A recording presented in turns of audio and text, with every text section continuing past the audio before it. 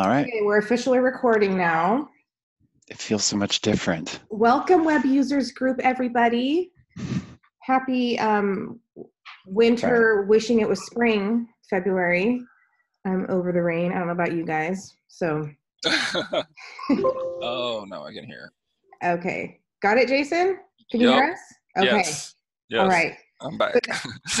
All right. So I'm going to mute you though, so that we, so we try to keep all the participants muted. Oh, you got it. Okay. That way we're uh, keep the noise level down. If you have any questions or comments, put it in the chat window and I'll I'll uh, manage that. So, um, okay. Well, this agenda, um, we have some things, kind of some updates and some information to give you, and then we definitely want to have some time at the end um, to do some Q and A, so you guys can ask any burning questions. They don't even have to be burning; they can just be questions um, of things that you are wondering, best practices, how to do things technically, web world things. Um, and it doesn't have to be WCMS, of course. It can be, you know, anything web. So I'm going to kick it off to Rob, who's going to start with some updates. Yep. okay. Uh, let's see. I'm going to share my screen. and Try to go quickly today so that we can get to the Q&A part. But I wanted to share with everyone because uh, there's a lot of crossover here on this group with uh, events calendar users. So I wanted to share something. I'm to resize my screen. Wanted to share something that we just recently added to the events calendar. Uh, I think last week or, or maybe two weeks ago. And that is um, for anytime, so I'm here on the events calendar and I'm adding an event and most of you or many of you are probably familiar with this interface here. You got to put in all your information about your event. And when it comes down here to the event photo, the standard is that you would have a photo of your own to put in here. You can upload it through this thing or just drag it onto this box. Um, and before a few weeks ago, there was one um, there was one choice for what happened if um, you didn't have an image. It was like a standard icon of a calendar would just show up, and it was gold, and it was kind of you know I don't know. It was it, was a quick thing that um, we put in there, or that I put in there actually right before we launched, so that events without photos would at least have something showing up in that space.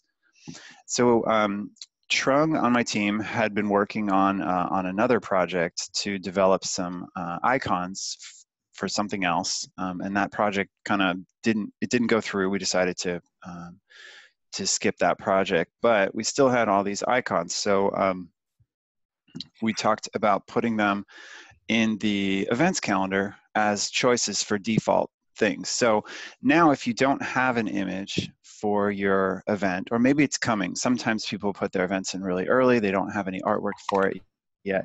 So we put in this, um, these, uh, this little library of um, icons that uh, Trung did, and you can choose from any one of them to put an event, um, put a photo or put a graphic on your on your event.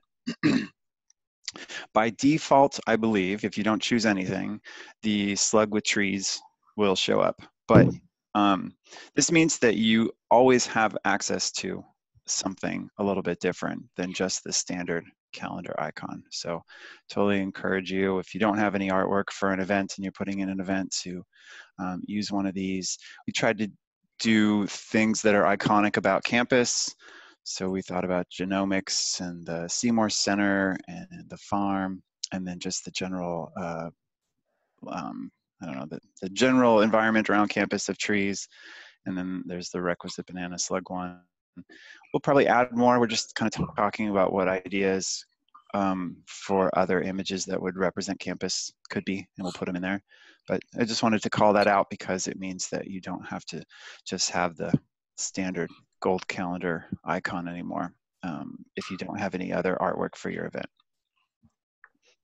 Any questions about that?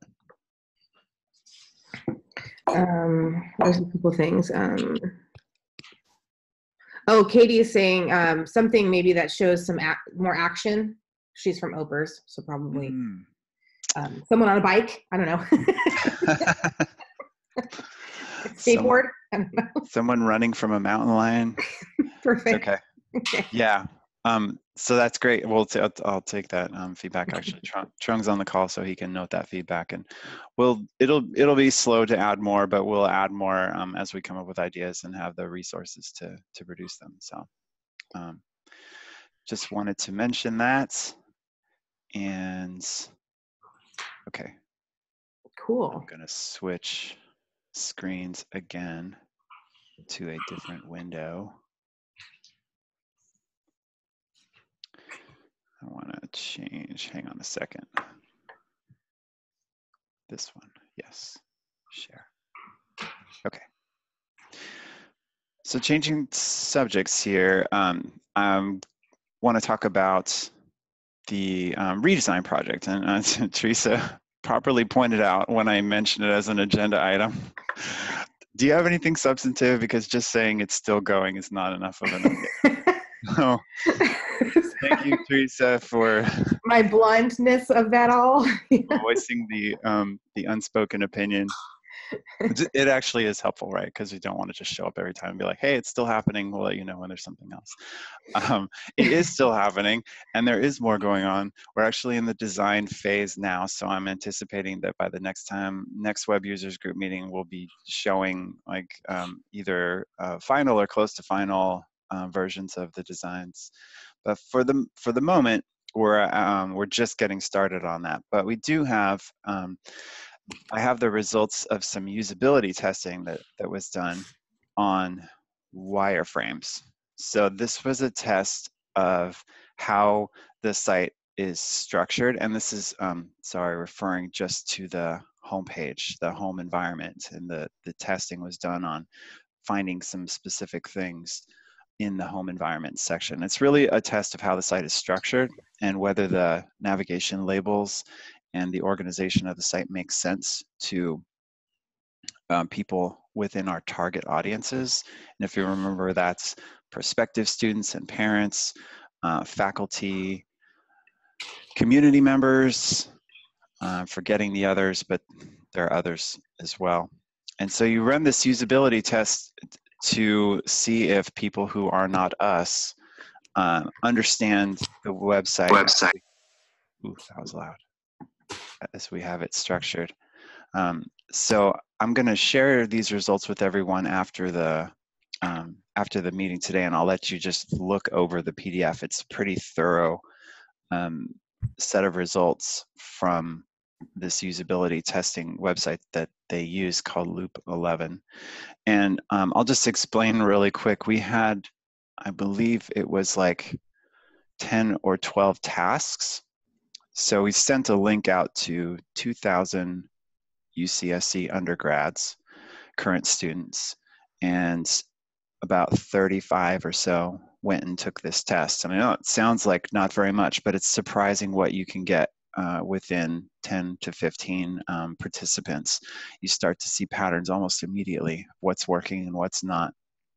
So we sent them a test link with 15 tasks, and they're basic tasks like find um, the find the link to one of our residential colleges, find the cost to attend UCSC, campus tours. You can see them all listed here. Uh, they're just sort of things that we understand um, first time audiences are typically coming to the campus homepage to find out more about. Um, and so this is the success rate of these folks, how they how they did, were they able to get what they were asked to find? Um, you can see in the case of this find campus destinations um, one, there was we have some work to do.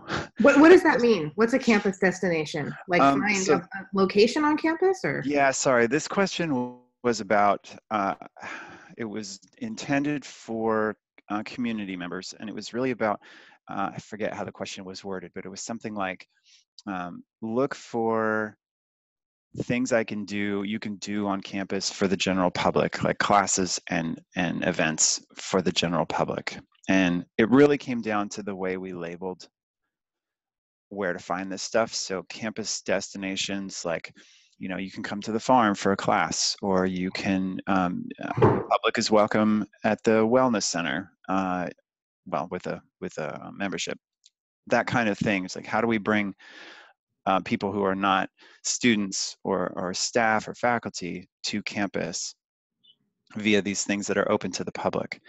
And I forget, I'm trying to think of, I think it was that we put this underneath uh, visit, or we didn't put it underneath visit. Mm-hmm. But it had to do with where this information was located. And it was really clear that people thought that where it was located was for students. And so they weren't clicking on it and they weren't finding it. And so what we can see here is like 24% of people abandoned the task altogether. 43% did not find what we asked them to find. And then a third did. So this is one of those things where just looking at the color bars here, you can tell immediately that there's something to work out, something to fix. And the average time, that's in seconds. So I'm looking at like Find Cowell College. Is that 61.2 seconds? Yes. So it took them six over a minute to find Cowell College. Is that what, what you can deduce from that, or is that how we're reading that, or no? Yes, that is. Uh, is that seconds? I'm pretty sure that's seconds. Okay. Um, the other thing is this is the order that these questions were in. And so what you can see is like a growing familiarity with the layout of the site. So by the time you get down here to the last question, they're, you know, 17 seconds. So this is one thing this indicates is that they're they're kind of like figuring it out and maybe a little bit more um, uh, with the magnifying glass, just kind of looking things over and taking it all in. And then by the time you get down to here, they're kind of keyed into how the site works.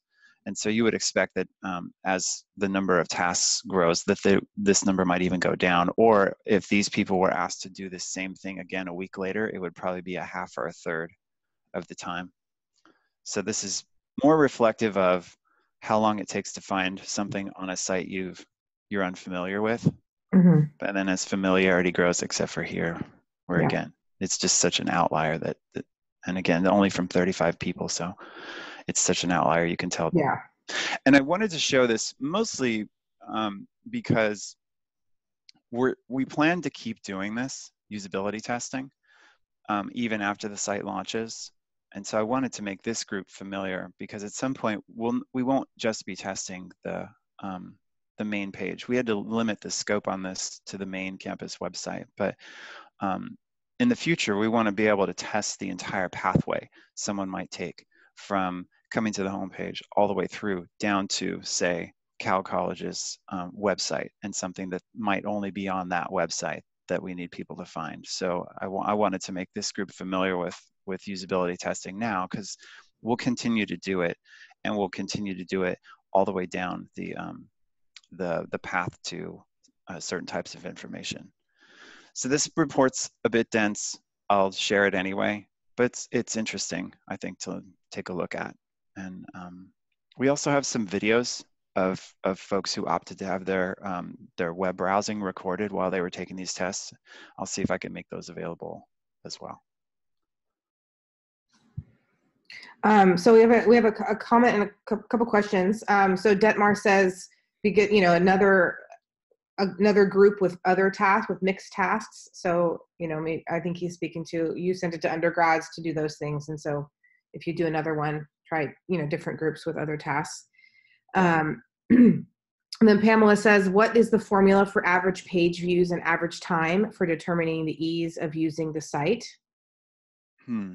And then yeah, so then that's Um, average page views in this case is going to, it's a little bit of a mixed metric because some of these things could be two levels deep, some of them could be four levels deep. So there could be a required number of pages you have to go to just to complete the task. Um, what I think this is intended to reflect is how much like bouncing around the person did. But in this case, it can also show that it's also possible that it took three clicks. There had to be three page views to get it to find this information. So I'm I'm not taking this metric too seriously. Um, average page time is or average time is average time it took to complete the task, start to finish. So And then um, Kate's Sorry. asking, does the test capture whether they use the site search? Uh, in this case, the site search did not work and it was intentionally um, hidden because the idea is to test the the architecture and the navigation and the labeling on the navigation. So we omitted site search from these test pages so that it wasn't wasn't an option. Okay. All right. Um, where are we on time? Ooh, only 20 minutes. Cool. Mhm. What is the next one? Oh, okay. Acce- accessibility. Accessibility. Um, back to this browser window. Hold, please.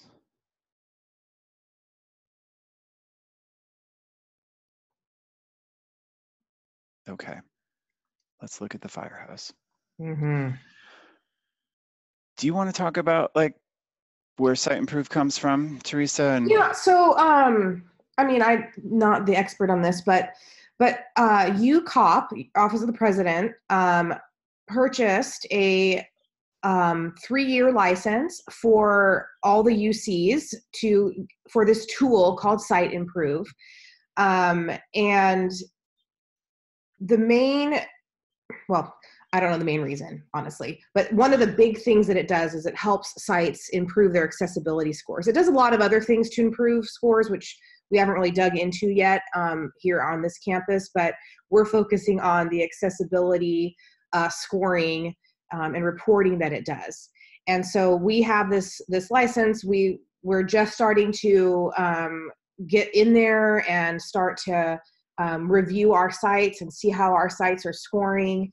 Um, and then eventually, um, in you know, coming soon to a theater near you, um, this would be something that you as site managers um, and site owners would be able to get access to and to start working on your own accessibility things.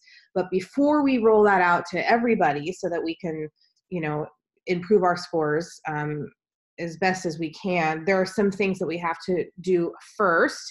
Um, but I will say one thing that um, is cool about SiteImprove that we're trying to figure out how to do, um, not how to do it, but when to do it and how we would roll it out was is that there's actually a plugin for the WCMS that we can just flip a switch and turn it on, and it connects your site directly with accessibility right inside the WCMS. So you can just click it and go to your you know your pages and see how they individually score.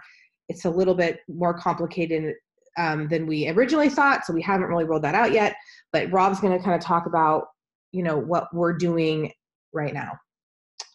Yep. Yeah, th- thanks, Teresa. You did a way better job than I would have done. um, yeah, and it's so um, if we were to just sort of roll this out right now, a lot of a lot of reports for sites, particularly for WCMS sites, would show things that uh, only we can fix uh, at the at the global level. Either it's a style sheet thing, or it's the way the templates are set up in WCMS. So we've talked about you know it being a little bit confusing to say, hey, here's this tool for checking the accessibility of your site, but there's a bunch of things that might get flagged that you can't fix. So we're, um, my team in particular is going through trying to find the things that are, are under our responsibility that we can fix ahead of time so that by the time we roll out this tool for everyone to use, it the issues that are showing up are issues that you can actually fix you know? Because it's and and we'll i'll show you you know what we're seeing now. Um i'm just to go. So i'm i'm looking at my scope here is the is the main campus website so it's www and pages on www and in the site improve menu as teresa said there's a um, there's a, a lot of other things that SiteImprove does, but we're focusing on the accessibility for for this um, for today. So there's this overview here, and you get this score. Yes, it went up since yesterday. Cool. Uh, I was working on things yesterday. Uh, you get this overall score, and uh, to be honest, I don't exactly know what 65.5 over 100 means. I just know that I want this to go up because there's a benchmark for the education industry at 70.5, and I want to beat that. So this is um, this is where we're at today. My team has been meeting once a month or so for about 90 minutes to take on any of the global um, issues that we can find, meaning anything that has to do with a style sheet or a template or something that an individual site owner can't fix. And we've done that three or four times now. And every time we go in, we think, oh yeah, we're gonna knock three or four of these things out today. Um, but it turns out accessibility can be difficult. And, and when you make a small change, it has a cascading effect down downstream. And so we're we have to be much more careful about the changes that we make um, so that we don't cause other issues or we don't make things uh, break on sites that have something a little bit special about them. So we've been able to take on like one or two um, accessibility issues with each uh, meeting. And i think i'm just going to look here if there's a I think there's a graph. No where's the graph it's under summary. Summary. I think it's under, maybe it's under summary. No. Sorry, let me find it here. There's pages with multiple level, pages at level three. Let's just go here. What I'm looking for is the graph. Another reason we haven't rolled it out, we don't fully understand it yet. Do you know where the graph is, Teresa? I don't. I um I It's this one. Okay, I found it. Sorry. It's a scroll down. I got it. Um so there's this graph here of of what issues exist. And it'll show you, you know, what's going on. It's interesting to see this because we we clearly made a change here and it helped for a little bit and then it didn't help. We definitely made some kind of change here that definitely didn't help sometime in October.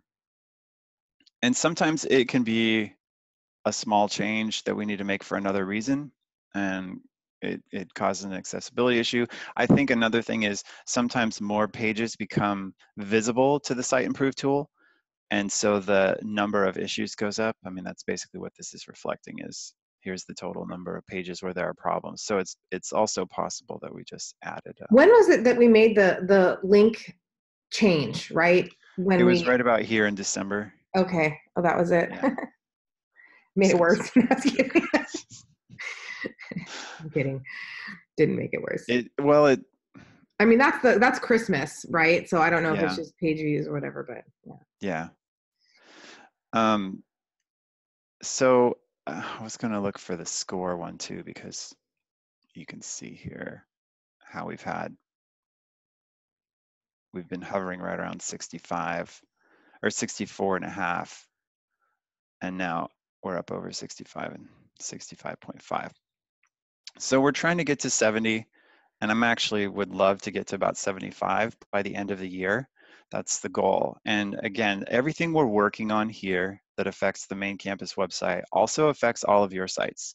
So we haven't done anything that isn't gonna uh, trickle down, cascade down to all the cascade hmm, down to all the other sites in the WCMS. It's Friday. Yeah. Um, so anything that we do uh, improves your site scores as well. And we don't have all the sites in here yet, but rest assured that whatever we're doing here is also improving the accessibility of, of your websites as well. And um, when when we feel like we've got most of these things hammered out for from the template perspective, that's when we'll start um, making this tool available. And and what you'll see is you'll see more content related accessibility issues like images without alt tags or um, text links that are blank or things like that. So um, there'll be more, more to come.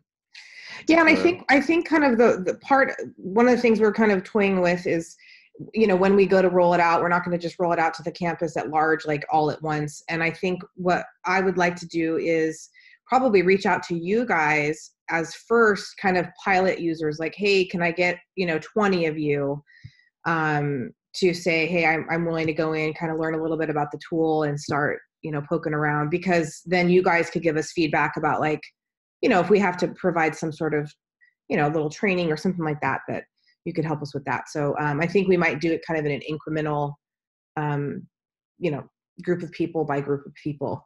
Um, Yeah. So we're not, you know, Let me show an example here too of, um, let's go with pages at level two with multiple errors. So what it does is it shows you a list of pages with issues. So I'm just going to click on the first one here. Now it's going to pull up an individual report for a specific page and show me what the problem on this page is. What's a good one? One we've been dealing with quite a bit is color contrast. So I'm just going to click on this and it's going to show me um, some color contrast issues. And this is, actually, this is a AAA issue and we've talked about not. Um, there's a big jump in, sorry, I'm going to go on, we'll go on an accessibility talk here for a minute. Mhm. Um, for uh, accessibility standards, there are these, there are three, there are three levels. There's single A, double A, and triple A. And each one has different specifications for certain things like, uh, for instance, in this case, color contrast. How much different is the color of the text from its background color? And at level two, it's required to be uh, four to one. So this text should be four times darker than the background. At level three, it should be seven to one. Seven to one is kind of hard to get without just making black on white or white on black. Um, it, it's difficult, and I've, we've talked about. I don't know if Kevin is on this on the call today, but um, Kevin uh, Andrews from the DRC, we've talked with him about it. Is it is it okay if we meet double A but not triple A? And, and in this case, we've decided that dou- double A is what we'll shoot for, and then triple A where possible. So here, where we have body text that is just a straight black text on a white background, we can get AAA standard there, but it'll be harder to do in other places like the interface up here and, and things like that. So hopefully that makes sense. I'm going to go back to a different issue because let's go with this one. Element is not highlighted on focus. And it's actually going to be a hidden issue, so it's not really. go back to another one. Non-text content. They're all complicated. So in this case, it's um, we have a link and all that link has in it is an image. And so that's a, um, it's something that we have to decide, is that okay? Is it not okay? Um, sometimes alternative text um, satisfies the requirement, doesn't, oh, because it's empty. Learn something new. I learn something new every time. So in this case, yeah, we have an image here. It doesn't have alternative text. And so um, this looks like basically an empty link to a screen reader. And so this is something we'll need to fix. Um, yeah, we need to fix that. Someone on my team note that. We'll go after this one the next time we get together. But this is just an example, uh, and this is you know one page. Um, this is probably not something i mean we'll we'll take this on because it looks like an easy fix but again this isn't something that's global in scope. This is limited to our our site so we probably wouldn't prioritize it above something else. Um, i'm going to roll down through other things we've fixed or changed. Um, Detmar, Detmar made a comment that the University of California IT accessibility policy requires compliance with the WCAG 2.0 level double A standards for all web-based information. And then he put a link in there if you guys wanted to go um, take a peek at that yeah in the chat. So we're we're um, we're required to meet double A, and then, like I said, we're having discussions around triple A, where where where it might be possible. Because obviously, be it would be great to be triple A compliant, but there are going to be limitations to what we can do. So, um, yep, that's the goal. Any questions about this? I know this is kind of a lot to throw at you at one time. Yeah, and then uh, um, you know, Sue already put a uh, request in to get access to the library. If you guys are, if if there are any of you who are like, oh, I really want to get in there, you know, w- there's nothing stopping you. Um, we can, you know, just put a ticket in. We can get you access. Um, we're just it's like like rob says we're just there's some things that you'll see that you're like oh I, I actually can't fix that. But it might be there might be something in there that you're like oh i can make my site better. So so yeah just if if you are dying to get in um, and get an account just put a ticket in and we'll get that for you. Um, and then the SiteImprove also has some pretty good training videos too if you you wanted to kind of go through those and get some more information about that. But accessibility is not going away if anything it's just going to get more and more in the forefront of um, for you guys as site managers. And so um, you know just know that it's coming and more is coming. And so um, we're trying to get this tool squared away so that we can really roll it out for you guys to, to do all of that. So um, yeah. Yeah I, can I pontificate on that for a minute? Pontificate away. um, what I told my team when we first started doing this is um, uh, in some circles, and I haven't experienced this at UCSC, but before I got to UCSC, I experienced it quite a bit. That accessibility is like this bolt on thing that you do second. You know, they, oh, okay, we need to make sure it works for screen readers. Um, the, the truth is, though, that all of us at some point in our lives and our careers will re- will rely on accessible technology and websites being accessible for some reason or another. Like uh, in January, I had hand surgery on my right hand and I couldn't do anything with my right hand for a week. And so I had to learn how to use dictation on my Mac and I had to um, move my trackpad to the other side of my keyboard and be you know as adept as I could with one hand on keyboard and trackpad at the same time. And that was just you know it was just for a week and it was because of surgery. But I, I've, you know, at some point we were all going to rely on this stuff working and being good. So the more accessible we build our websites, the better it is for all of us. And then the second thing is um, that uh, when we do this right, it has all kinds of downstream effects too. Um, Google reads your site and understands it better when you're using proper markup that's accessible. So there are um, additional benefits that that um, we get when we build accessible websites, and so that's you know one of the reasons why these things are great to fix.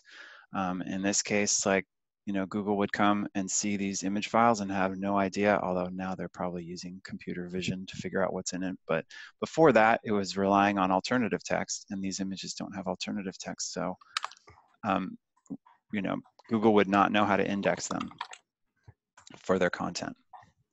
So there are great reasons for us to be more accessible and and that's that's the benefit that we get from using this tool. And then the last thing I wanted to say was um, Sue definitely will get you access because you're not using WCMS, you're in another CMS. And so any like arts library, SOE, um, we should probably make sure that they get into um, SiteImprove sooner because they'll be able to do the same thing we're doing for WCMS, fix those global issues. Mm-hmm. Um, I so I have another question from someone asking um, if we have a list of sites that are seriously or close to seriously being out of compliance. Um, and my response, I think, is that not all the sites right now are in SiteImprove, but all sites can sites can be reviewed in SiteImprove. So we just have to get um, correct me if I'm wrong, Rob, because I, I, haven't been in there in a little while, but get um, users in and have them connected to websites in SiteImprove, and then we can look at that. Yeah. Um, um, compliance. Uh, that's how to answer that question. I. It's hard to have a site that is fully compliant. Um, yeah. It's more a matter of how uh, what is the magnitude of the issues on a site. So it, uh, like we're at 65, let me go back to the report here.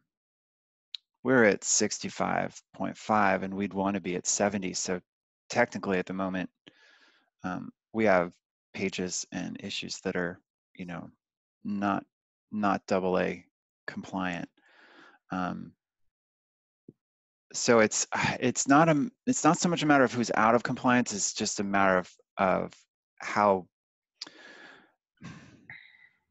how I don't want to say how bad sites are. It's just more of like, are are we addressing um, the major issues? Yeah. And so I would say there are there probably aren't sites that are egregious. There's just things we can do to make things better. Yeah. Sorry, that wasn't very clear. No, I mean, and and if I mean if your site's in Cascade in the WCMS, um, basically you're going to be around this score. Like there aren't going to be sites in the WCMS that are scoring 20%, right? Because because all the templates and the style sheets and all that are set. Um, Yeah. There are things that you can do to make the score go down. Like if if you don't give your text, you know, your image is alt text. If you you know, um, there's certain things like that that you can make it go down a little bit. But WCMS sites aren't going to be horrid in these scores because they kind of all share the same um, templates and styles, um, unless you do some naughty things, which you know. But um, Naughty things. Yeah, naughty, some, naughty I'm- things. as Teresa was talking there, I'm just bouncing around between the sites that I have access to, and you can see they're all in the 65 point range. I'm going to go to the new center because I expect it to be a bit lower. Uh, but if you're in WCMS, you're, yeah, it's lower because we have other, we have 10,000 news articles and they probably all have something that needs to be fixed. Um, so everyone's roughly within a point of of the main site is if you're in Cascade, you're you're pretty close. And if there were anything, if there were anything showing up that was just you know un um, something that we needed to fix right away, we've gone in and done it. And again, if it affects everyone immediately, so um, there's no need to worry that your site is you know causing major issues at the moment. Um, it's it's not likely.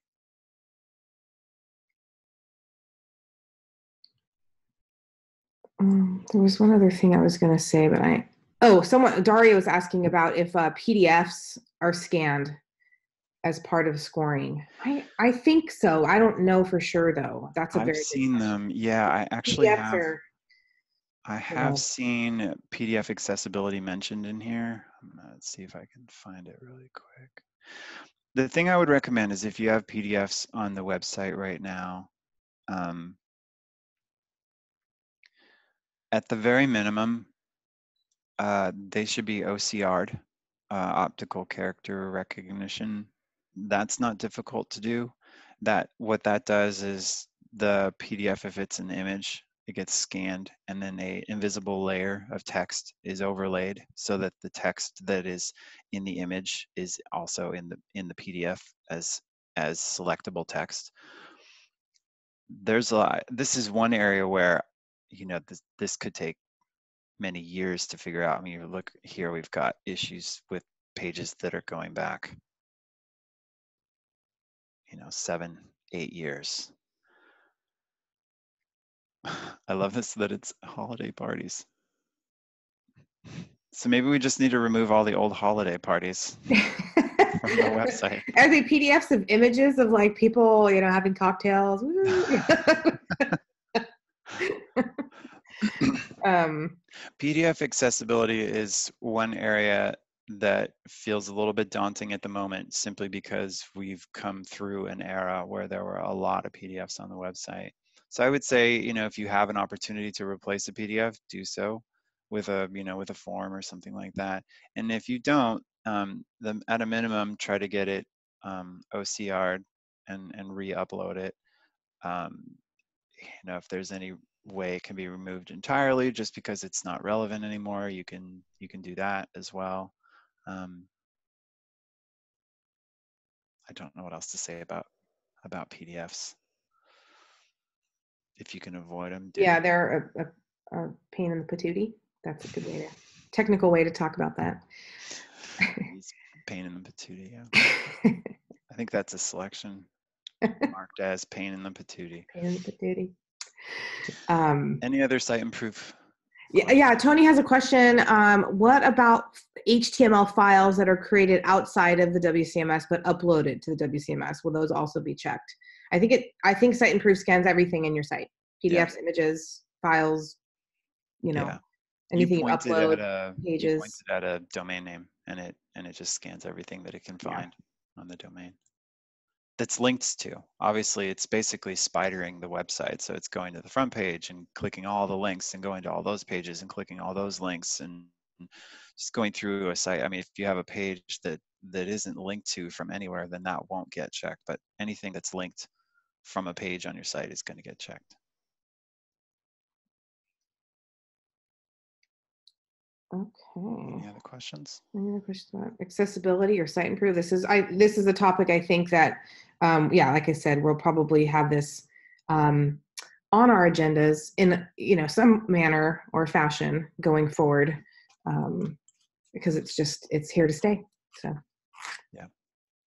And I think I read a fact somewhere um that um something like 14% of the population in the United States, this is just the United States, um, needs some sort of assistive technology or, you know, when using, you know, a computer, um, whether it's they're, co- you know, they need colorblind, they need to tab, they, you know, mobility, vision impaired, you know, um, and vision impaired is a huge range spectrum. Um, I mean, there's so many things. So, you know, it's a bigger percent than you actually think. And even just in rob's case like temporarily needing to be you know you're impaired somehow. Um so it's it's it's not going anywhere. Yeah. Um so yeah tony's question again nothing behind a password privacy wall gets scanned. So locked behind a password i don't think they can get to that content so that would Yeah. that would be tucked away it would have to be it has to be something publicly accessible yes Uh, okay, I think that's. Oop.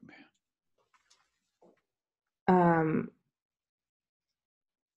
so daria has a comment Yeah, just- um, which is a good comment. Sorry to hop on the PDF issue. PDFs aren't necessarily forms. They are used um, so that formatting of content doesn't change or can't be changed when viewed by another person. So would the recommendation be to have um, view only Google Docs, like maybe instead? Hmm. Um, it- good question. It really depends. I would say it depends more. I, I can just talk about the way we tend to think about stuff here in, on our team, um, which is that it's it's more about the, content itself um, rather than the formatting. It's like is is the content does the content need to be available to everyone? If it needs to be available to everyone, and you know we it, the audience is the public web um, I we just generally avoid PDFs because if you use a PDF, there's there is no way to ensure that it, that that content is available to everyone. Whereas um, if it's HTML on a website, um, independent of formatting, that content is available to as many people as as possible. so it's really about who the content could be should be available to.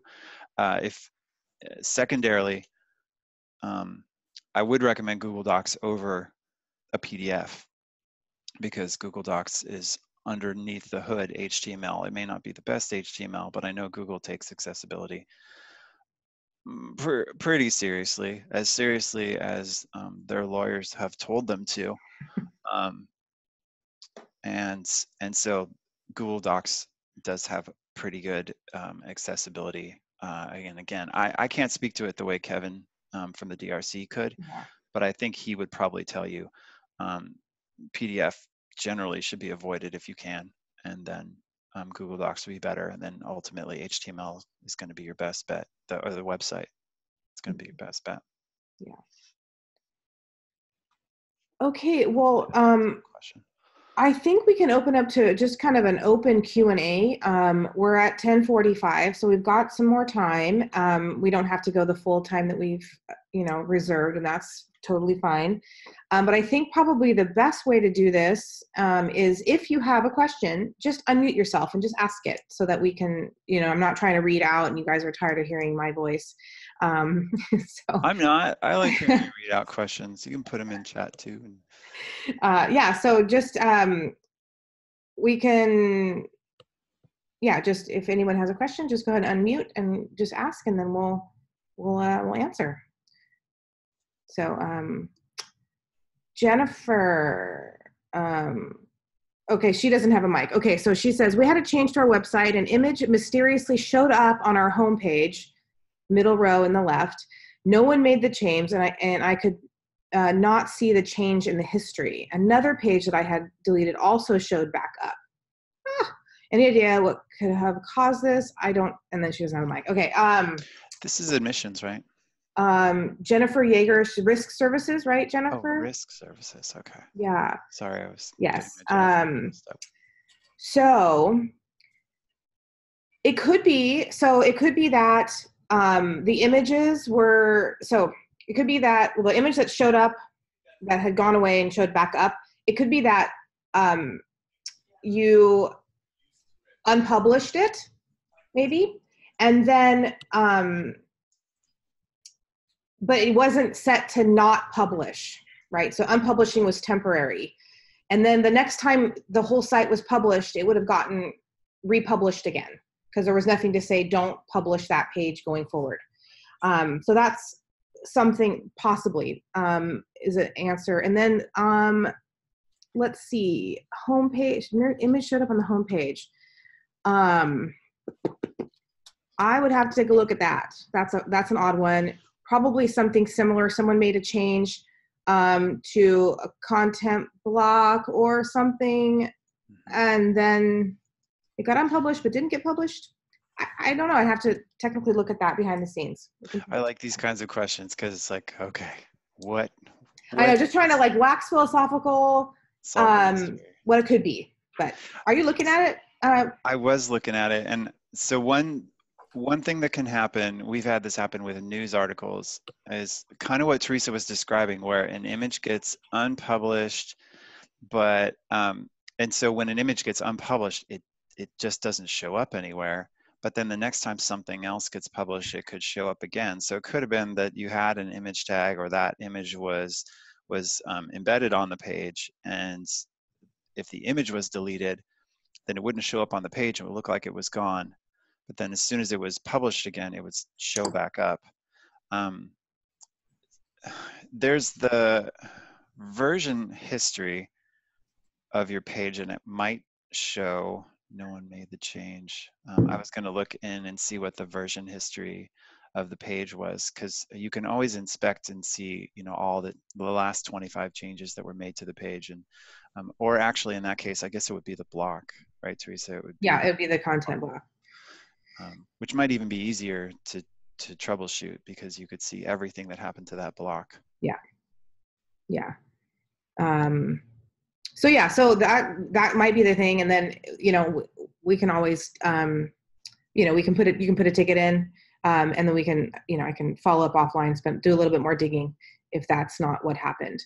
Um, but a lot of people think that simply unpublishing something is like oh, okay it's gone well no it's it's gone until the next time you publish unless you actually set that asset to not publish again um, in the metadata so that's might be what happened. So, any other questions? Don't be shy, guys.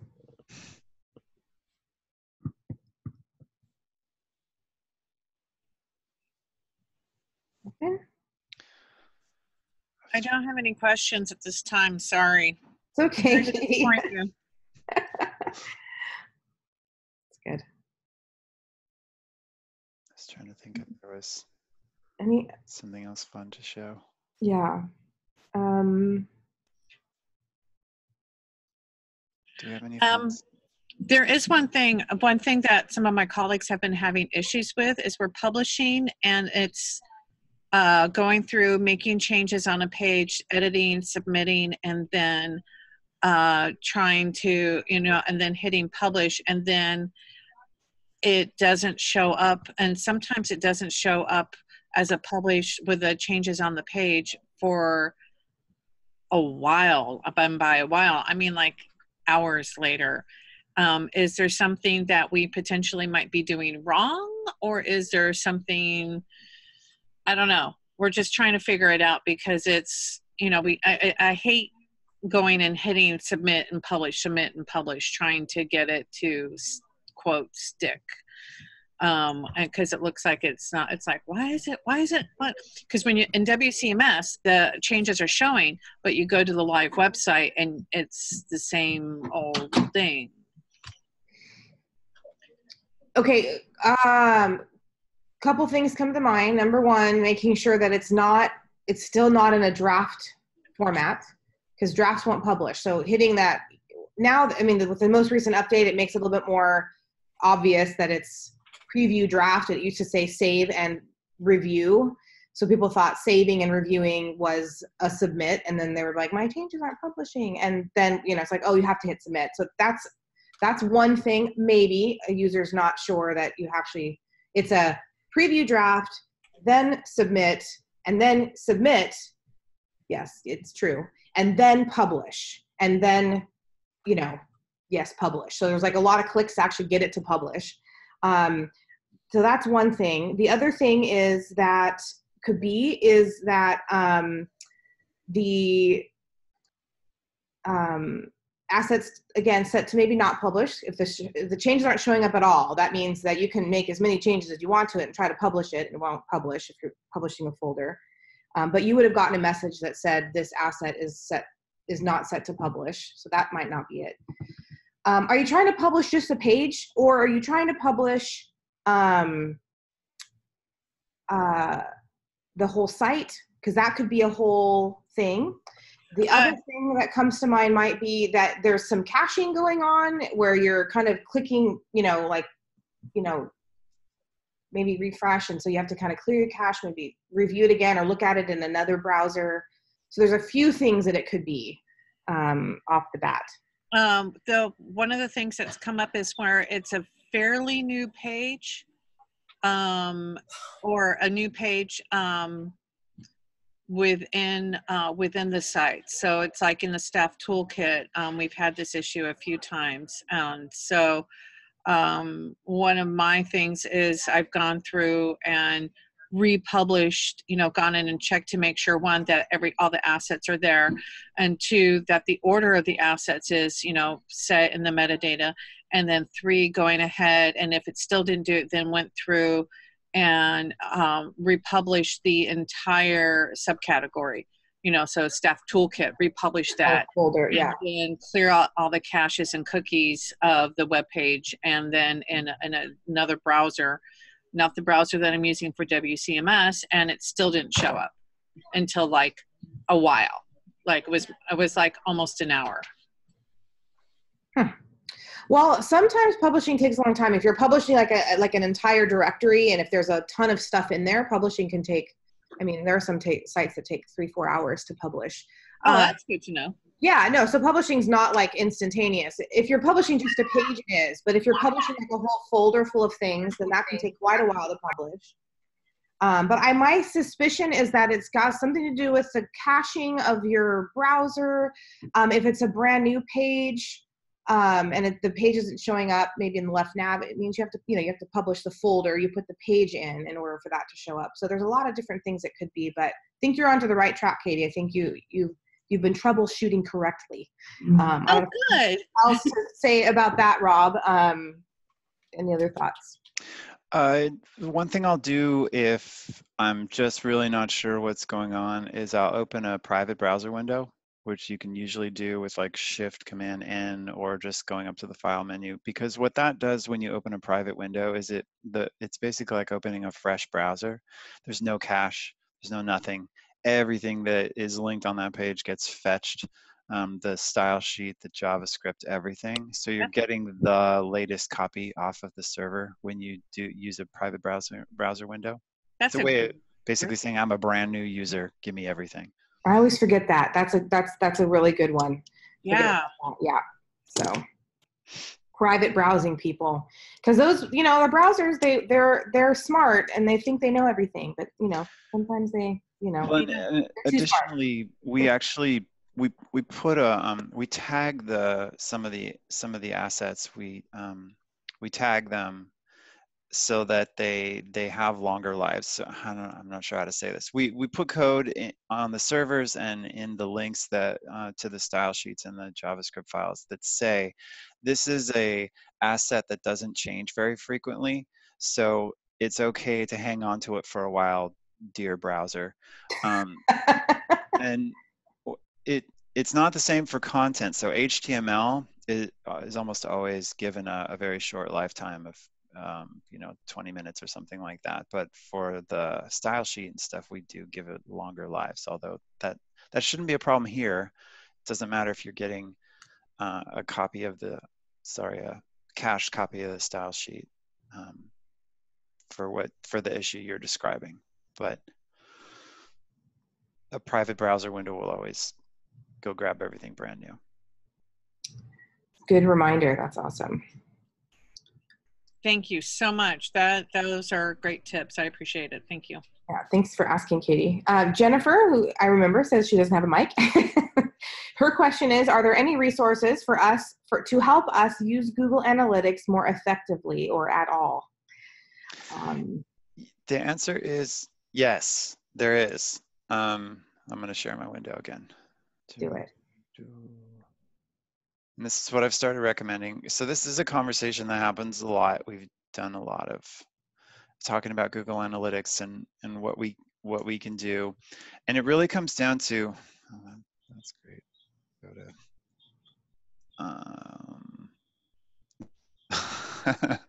said that moment where I realized I'm going to go to YouTube, and recommended videos for me are going to show up, and it's going to be that's the new like embarrassing thing that can happen on on the web now, right? Is your YouTube history shows up and it's like baseball videos and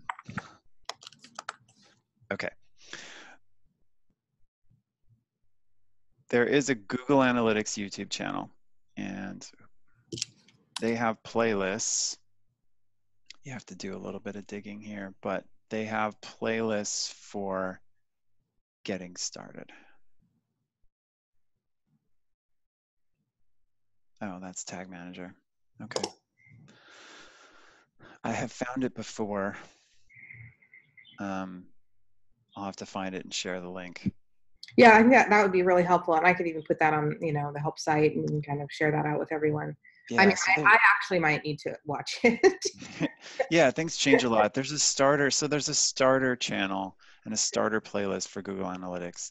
And, um, and, and it gives you the you know the gives you the basics it's about 90 minutes i think of videos in total so if you can dedicate uh, a little bit of time uh, a week or a little bit of time a day within you know a few days or weeks you can you know get up to speed. And then it comes down to and this is where the complexity comes in it really comes down to questions like what you want to know after that. So it depends on what your site is for. Like i tell people you definitely want to know what your most popular pages are. You also want to know what your least popular pages are because maybe they don't need to be on the site or maybe that information can be consolidated into other pages. Um, we've had uh, presentations here uh, in the web users group about Google Analytics before, and and I tend to say very similar things, which is uh, it it really comes down to what you want to know. Yeah. Do you want to know how long people or where people are coming to your site from? Well, then you're looking at refers, and you can, I forget. Uh, let me pull up analytics. Oop, come on.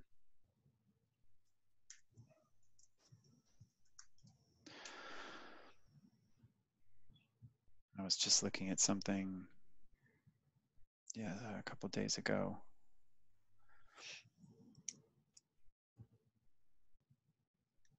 But that's the that's what makes it what makes it hard for us to try to give a general overview is that it, it really does depend on what you want to know, what you're looking for, what specific question you have. Let me find um, in the moment actually. Just gonna go to my favorites.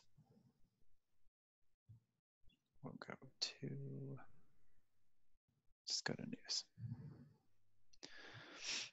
So for example, on the news site, we really, our main curiosity is what's, what's popular? what's trending at the moment.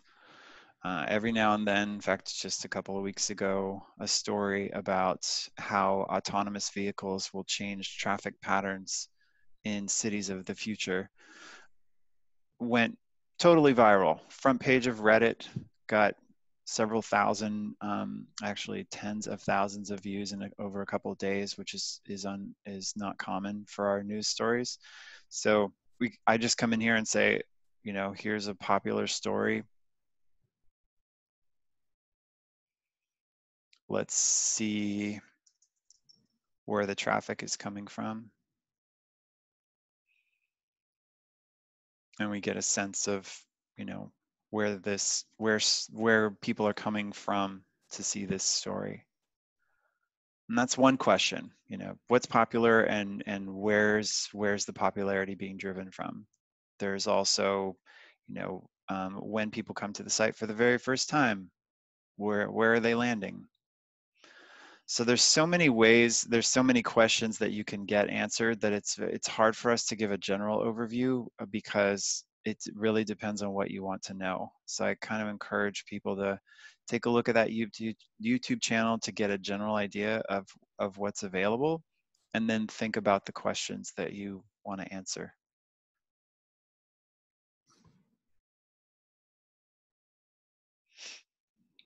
That's great. Yeah, so we'll we'll uh, send out that YouTube channel link. Um, yeah, I think it's it's a really good tool, underutilized because it's so big and it's very. I mean, personally, it's it's it's big and it's overwhelming. Like I don't know where to go in Google Analytics. It's there's too many things, but like I know how to find the basics, just like Rob was showing. Like most popular, you know, least popular. How do people get there? How long were they there?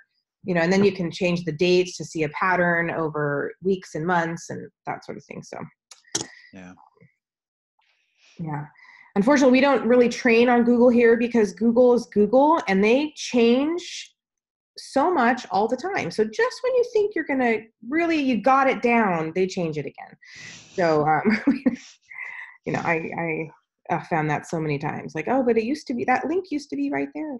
Mm-hmm. yeah mm-hmm. yep okay any other questions not that this is the only time you can ever ask questions. It's more like, you know, um, you can always shoot us an email or open a ticket and we can help you with stuff, but it was more just we have some time for Q&A. So going once. Hi, I have a couple questions if you can hear me. Uh, yeah, who is this? This is uh, Maureen Wolf from the Career Center. Hi, Maureen. Hi. Um, I was just in your class this week. Oh, okay, um, great. Hi again. Hi. Um, so I have a question about uh, broken links. We have um, some archived content on our website that is not currently published and live for the public to see. Um, but it seems like our broken link checker is picking up on a bunch of um, links that are not hosted on our website that are being reported as broken. And I'm wondering if I can ignore those and why that might be. Are there um, links to other sites? yeah, like we had we had um, a page with some resources um, for people to check out for various different careers and um, what they could do with different majors, for example. That's a couple of the links. Um, and those links are still up on the web, um, not hosted on our website, but just resources um, from third parties. Um, and those are the, the pages that we have that had those resources are not published, but they're still being reported as broken links. So I'm wondering why that is. Oh. So then they might be still published. Maybe they're, I mean, they might be out there. Maybe um, still. I wonder though, because it's inside the WCMS, that is get the link checker is running through that content even though it's not published, it's still in the system. Mm. So it's looking over those pages, checking those links, and finding that they're broken. If if it's um, if the pages are unpublished, do you still need them? Is there any intention of publishing them again someday, or, or, or is it they're going to be offline forever? Um, I don't think there would be a reason for us to publish. So um, I was considering deleting them, but I need to check with the rest of my staff to make sure that that's an okay thing to do. I just want, I wanted to ask for future if we choose to unpublish a page and then want to use it again, if that would be showing up in our report for broken links, because I obviously want to keep track of how many live links are, are broken so we can keep that to a minimum. Yeah, I think the other thing is that the broken link checker, it's not like instantaneous. So like if you, you know, it, I think it, it, it refreshes, I, I want to say like once a week. So you can have things that are reported broken and then fix them. And then they'll still show up there until, you know, the, uh, the new refresh. So depending on how long that page has been unpublished. I actually honestly don't know truly if the, if the link checker is looking at um, content only in the WCMS and or if it's actually um, only looking at stuff that's being published. I actually am not sure because um, it's it's a fairly new-ish tool, and I'm not 100% sure how it how it all works. Um, I think, from my understanding, is it's doing you know when you save a page, it, uh, it runs a link checker over it. I think it's doing that for content. Okay, without it being yeah. published. Yeah. Okay. Yeah, so it's before publish. So yeah, so Maureen, to answer your question, you you can ignore any of them that you want. Um, there's actually a little thing in there you can just say ignore this one. Um, and then also sometimes you get false positives where it'll say this is broken, and then you actually click on the link on the page and it works.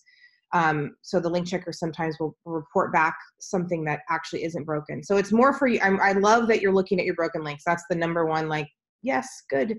Um, so be on that. That's great. But sometimes it's not perfect. So that's, you know, if you go to the actual page and the link is working, then you can just ignore what the broken link checker is saying. Okay, got it. That's yep. good to know. Thank you. You're welcome.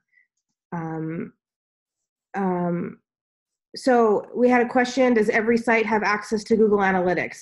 Um, in the in the WCMS, yes.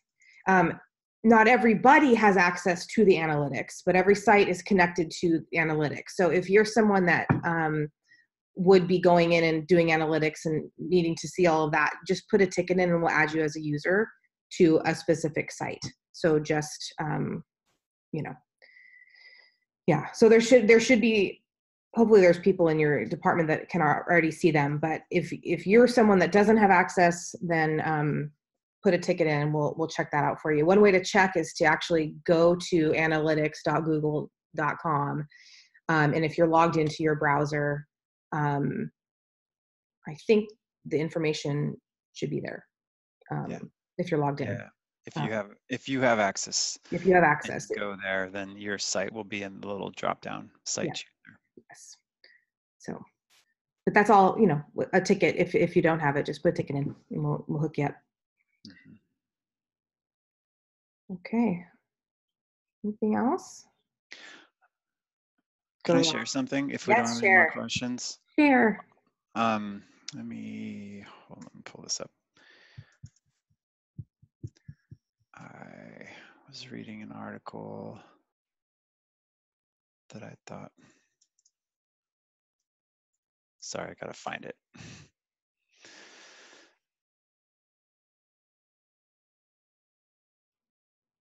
Okay, I'm going to share this real quick, and and I'm just giving people time to ask other questions if they want to. Um, but I wanted to show this particular article. If you're familiar with Jakob Nielsen, he was pretty influential um, early on in the web's development for focusing on usability and the importance of usability in, in creating uh, web content. And I was reading this article uh, from a couple years ago that uh, I think is was helpful to me and hopefully um, could be helpful to others as well. And it's about um, this idea of chunking content.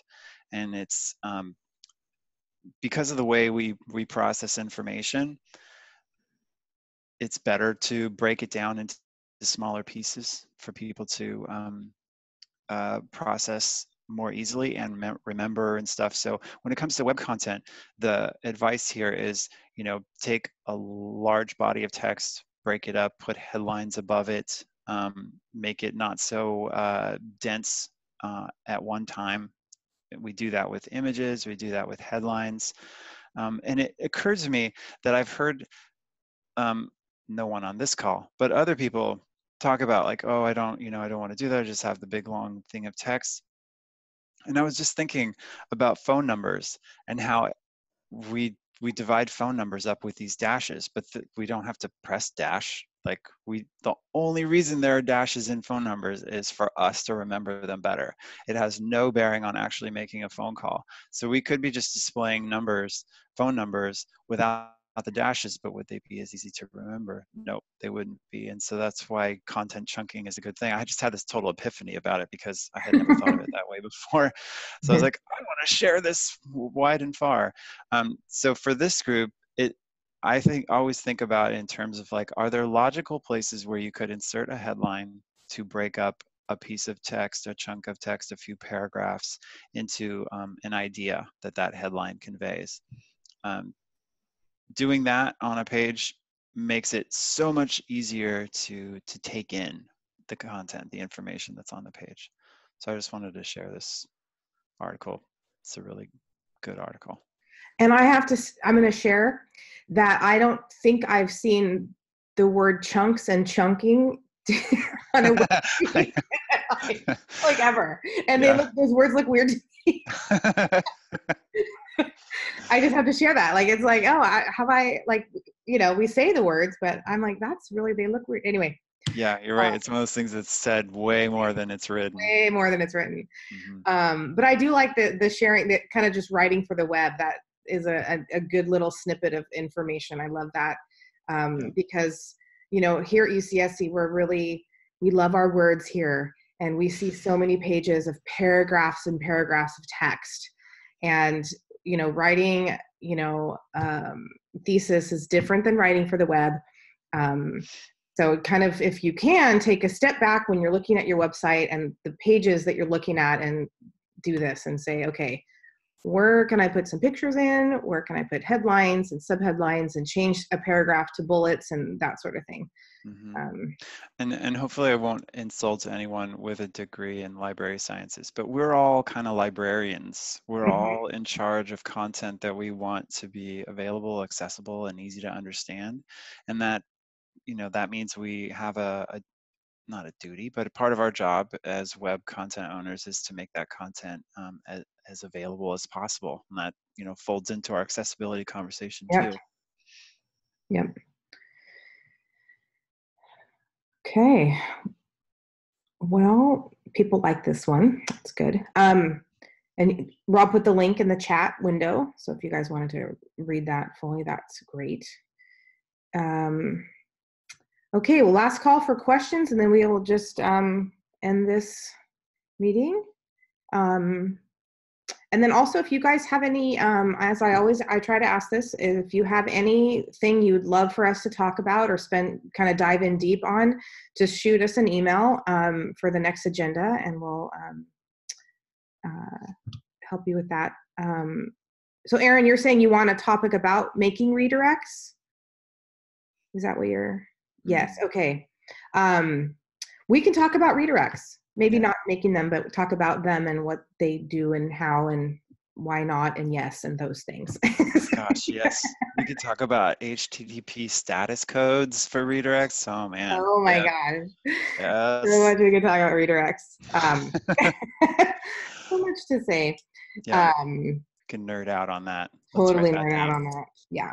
Um, okay so redirects. Okay um Good. All right. Well, I'm going to call it. And um, thanks for joining. I have recorded this, so um, we'll, uh, you know, rustle it up and into a link that we can send out to share to everybody. So if you had to step out or could make it, it's recorded.